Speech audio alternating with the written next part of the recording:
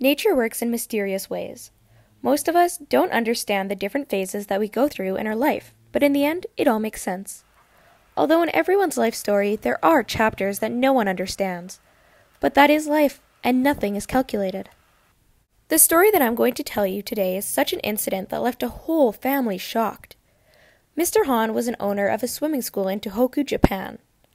He was a man in his late 30s, a few months earlier, he had moved to the Pacific Coast after buying a new home by a local property dealer. Mr. Han was married and had a four year old kid. His wife Sakura helped him in his work, and together they had a very calm and happy life. Moving to their new home was like a dream come true. The couple had saved for many years and cut expenses so one day they could afford their dream house near the beach.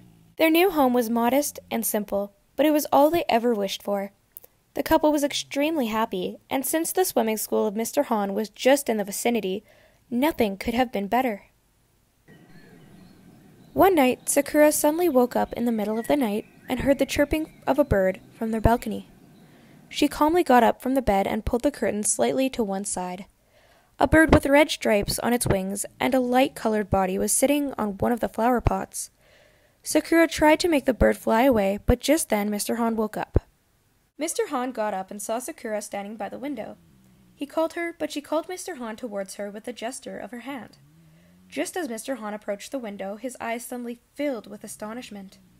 He immediately turned on the lights of the room, and just then the bird flew away. Sakura looked at the blank face of her husband and asked him if he was okay. He asked Sakura to wait, and he opened the cabinet on one side of the bed. He took out the family photo album and scrolled through the pictures of his family. He stopped at one picture and showed it to Sakura. It was a black and white photograph of his late grandmother. She had passed away a few years ago. Sakura did not understand the reason for showing her that photograph. Mr. Han pointed towards a tree beside his grandmother in that picture. A similar bird sat on one of the branches of the tree. In his childhood, his grandmother used to tell him a story about how the robbers one day came to their house and this bird chirped until his grandfather got up and somehow managed to call the police. Sakura was also amazed because she had never seen such birds before in that area. Mr. Han checked the whole house, but nothing was out of the ordinary, so they both went back to sleep.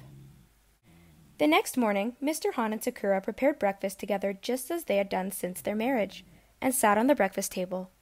Their young child was still asleep, so they were the only ones having breakfast. Sakura was very much intrigued by last night's incident, and told Han that maybe they should visit the grave of his grandmother. Mr. Han was very attached to his grandmother, but had not visited her grave since her death. He thought for a while that maybe he should visit her, but it was a long way from his new home. However, at last the couple decided to leave for a visit the next morning. Bags were packed, and Mr. Han and Sakura, along with their child, started their journey. It was a 17 hour ride from their home. Mr. Han reached his parents' house late at night, and the next morning went to the grave of her grandmother with his father. The parents of Han were still alive and lived an hour's ride away from the cemetery.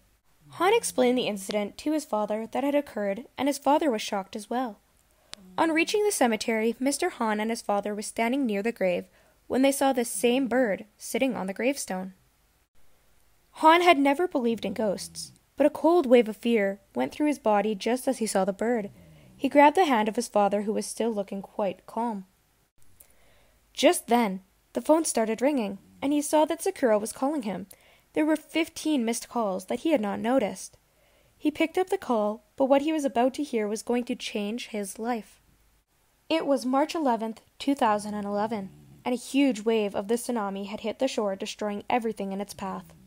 Mr. Han could not stand on his two feet after hearing the news. Although he had insured his new home and school, the loss was too great for him. On reaching his parents' home, Sakura was waiting at the door. She immediately hugged Han and thanked God that if they were still there, they would have been killed in that destructive catastrophe.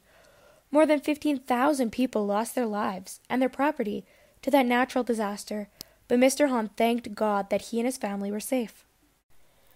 At such times, we recognize the true value of things. In the end, nothing matters except the well being of the people that we love. Nature has mysterious ways of saving us from calamities, but many of us ignore the silver lining.